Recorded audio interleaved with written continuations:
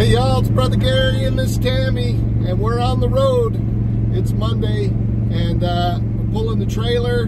We've got over half a million pieces of scripture that we're going to be delivering. Then uh, once we deliver that, we're going to pick up some whole Bibles, and uh, we're on our way for the next 30 days, picking up scripture and going around. So pray for us, and uh, Lord bless you. Maybe we'll see you while we're out on the road. Bye-bye. Bye,